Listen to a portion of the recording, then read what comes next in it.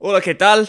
Direto do paddock pré-GP da Espanha, com charme a pedidos de Jeff na nossa técnica aqui hoje. E claro, como de praxe, dia de mídia da Fórmula 1, a gente chega com um resumo do que foi notícia no paddock em Montmeló. Estou na companhia aqui de Guilherme Longo para mais uma edição do Direto do Paddock. E o primeiro tema é a possibilidade de Flávio Briatore levar motores Mercedes para a Alpine, Guilherme. É isso aí, mas primeiro de tudo eu quero saber, semana que vem então vamos ter um, um alemão austríaco na abertura também do Direto do Paddock? Fica no ar o mistério. É. Salve, salve, galera. Um abraço para todo mundo que tá acompanhando nosso direto do Paddock. Vamos falar então de Flávio Briatore, vamos falar de Alpine, né? A gente já tem essa informação há algumas semanas que o Briatore estava sendo considerado para um cargo não executivo, né, dentro da Alpine.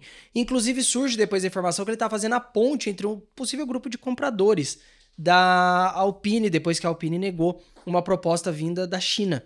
Só que agora surge essa informação de que Flávio Briatore está fazendo inclusive é interessante destacar, com a Alpine a função que ele estava fazendo com a Fórmula 1, né? Que ele voltou para a Fórmula 1 para fazer uma ponte entre a categoria e potenciais novos acordos, é, novos patrocinadores que chegam, etc. E parece que agora ele faz esse mesmo papel na Alpine. E aí, Luca De Meo, CEO da Renault, teria designado a Flávio Briatore. Seguinte, nos traga motores Mercedes para 2026. O que corrobora com essa notícia que surgiu essa semana de que a Renault está considerando abandonar o projeto de motores na Fórmula 1 e manter a Alpine no grid apenas como equipe cliente. É, você que está conosco, gostaria de uma potencial equipe Alpine com motores Mercedes? E o que, que você acha da volta de Flávio Briatore ao comando, se é que dá para colocar dessa forma, da equipe de Aniston? Deixa aqui nos comentários, não se esqueça dos likes. E a gente vai agora para o próximo tópico também, envolvendo o mercado das equipes, digamos, porque Adrian Newey foi flagrado numa visita secreta a Aston Martin, uma das interessadas em contratar o engenheiro britânico projetista que deixará a Red Bull no fim do ano. É, Adrian Newey foi visto, né, vamos lembrar, a, a, fábrica da Aston Martin fica em Silverstone, inclusive muito próximo ao circuito que recebe a Fórmula 1 daqui três semanas. Então, assim, o quão secreto foi essa visita? É, também dá para questionar, né? Também todo mundo devia estar tá sabendo é, vazou, mas vazaram ou simplesmente repassaram a informação? É. A gente sabe que a Aston Martin é uma das equipes que está na briga pelo Adrian Newey e hoje é uma corrida entre quatro equipes: Ferrari, Mercedes, Aston Martin e Williams querem o agora, né, ex-projetista da Red Bull. É, inclusive o jornal britânico The Telegraph dá conta de que houve uma primeira proposta por parte uh, do Adrian Newey para a Aston Martin, o Newey sugeriu um salário de aproximadamente 30 milhões de euros e o Lawrence Stroll teria dito por esse valor não vai rolar. Segura. Vamos menos. ver, né? Aliás, você citou a Ferrari como uma das potenciais interessadas no projetista inglês. Fernando Alonso falou sobre isso também. É, o Alonso mencionou, né, ele foi questionado nas coletivas dessa quinta-feira sobre essa questão do Adrian Newey e ele falou assim, é, mas os rumores e as notícias vêm dos mesmos veículos que falavam que o Newey seria anunciado pela Ferrari no Canadá. Então ele meio que deixa rumores são rumores, deixa o negócio correr, mas o Lance Stroll falou um negócio interessante, né? Ele tentou vender a Aston Martin para o Newey, ele falou: somos um projeto novo, somos um projeto emocionante, um projeto que está muito interessado, que está crescendo. E isso não é mentira. Desde que o Stroll compra a então Force India, que vira Racing Point e depois se transforma em Aston Martin em 2021, é uma equipe completamente diferente. É uma equipe que usava uma sede totalmente defasada. Hoje tem uma das, uma, uma das infraestruturas mais de ponta Sim. de toda a Fórmula 1. Tá para inaugurar um túnel de vento novo também. Então, em termos técnicos, sim, a Aston Martin evoluiu muito e isso abre muito potencial, especialmente quando a gente pensa que 2026 ela passa a ser duplamente uma equipe de fábrica. Uma Aston Martin com uma parceria com a Honda, uma parceria até no momento né, de exclusividade. É, você que está conosco, você acha que Adrian Newey pinta em Silverstone para trabalhar na Aston Martin? Deixa aqui na área de comentários seu palpite em relação ao futuro do engenheiro inglês. Fernando Alonso ironizando, né? Por um momento se tinha a notícia de que ele iria para Ferrari, meio que tudo fechado, e agora surgem esses rumores. Mas falando nos. Ah, como que eu poderia dizer? Boatos, fofocas, enfim. Aquele bafafá que tem no paddock, a rádio paddock, como a gente brinca no jargão automobilístico. Ralf Schumacher, o polêmico Ralf Schumacher, ex-piloto de Fórmula 1 e hoje comentarista na Sky Alemanha, falou sobre a possibilidade de George Russell estar em xeque na Mercedes, isso é, a permanência do piloto britânico. É, o Ralf gosta de polemizar, mas eu tendo a dizer que o que ele falou dessa vez tem um fundo de verdade muito grande. Porque o, a fala do Ralph vem da possibilidade da, de Verstappen ir para Mercedes no futuro, né? E ele falou o seguinte: numa situação em que Kimi Antonelli é visto como futuro da Mercedes, Verstappen está livre no mercado. Quem seria o demitido? George Russell. E de fato, se o, o Toto Wolff está tão interessado em trazer o Kimi Antonelli, ele não vai largar ele na primeira oportunidade, a não ser que realmente ele se prove um desastre na Fórmula 1. Numa situação em que o Verstappen está livre, quem tem perigo ali é o George Russell. E de fato é, o Russell é, ele chega em 2024, né, ele começa a temporada 2024 sabendo que o Hamilton vai para a Ferrari e ele, opa, tem uma chance de virar líder da equipe no futuro. Mas automaticamente o Toto Wolff está indo atrás do Verstappen. Então, assim, que confiança que o, o Toto tem de que o Russell pode ser líder?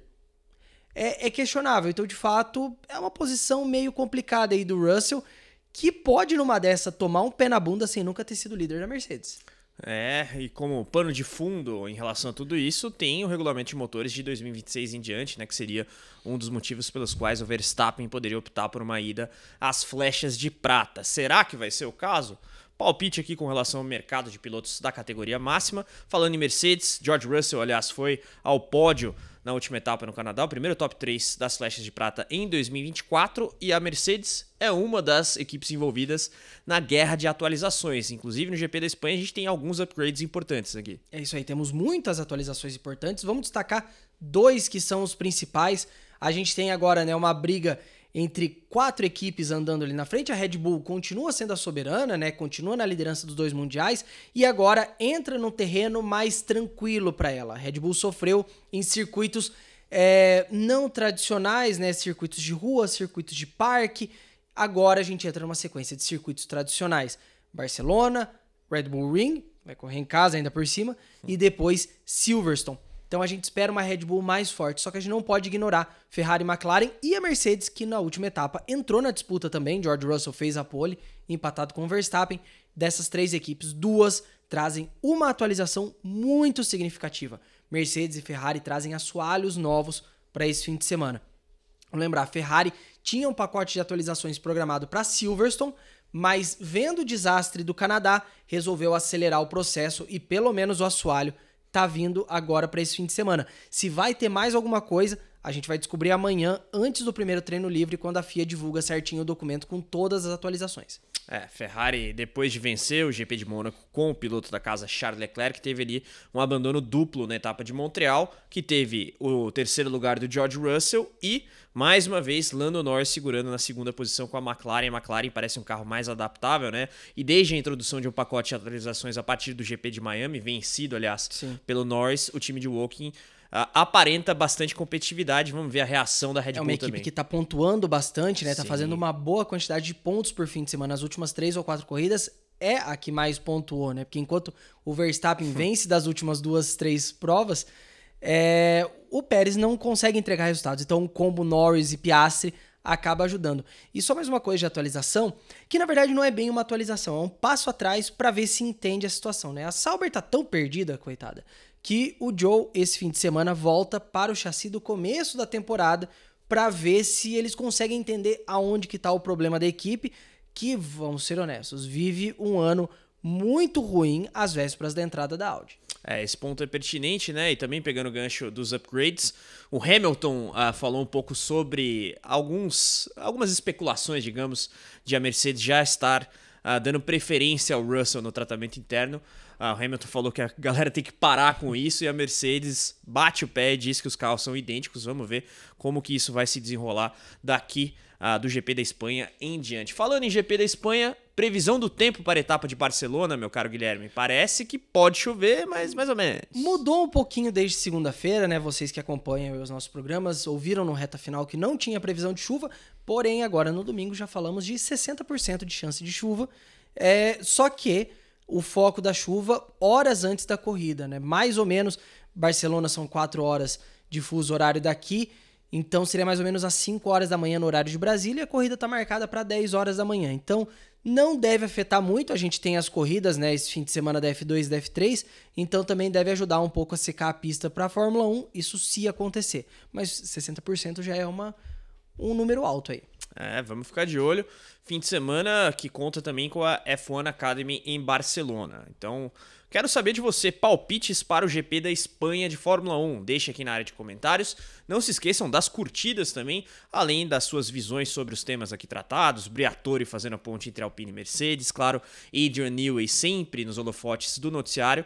E, óbvio, a gente bate na tecla da importância da sua inscrição aqui na, na Motorsport TV Brasil, perdão, no YouTube, né? A gente tem o canal com uma série de transmissões, inclusive.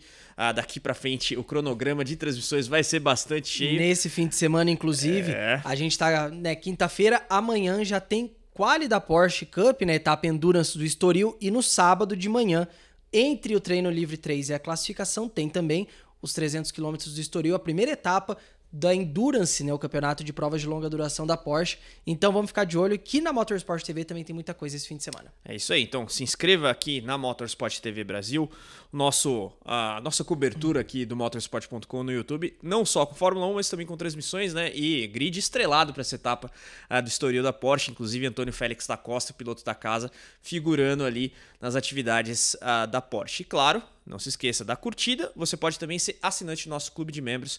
Clique em Seja Membro logo abaixo aqui do player para conferir os nossos pacotes de conteúdos que incluem lives, vídeos, enfim, atrações exclusivas com Rico Penteado, ex-chefe de motores da Renault na Fórmula 1 para os assinantes nível hard. Amanhã a gente se encontra no Sexta Livre, nossa live logo após o segundo treino livre para o GP da Espanha. Então, por volta da uma da tarde, a gente está ao vivo. O treino livre número 2 começa ao meio-dia, horário de Brasília. A gente se vê, até lá. Tchau, tchau.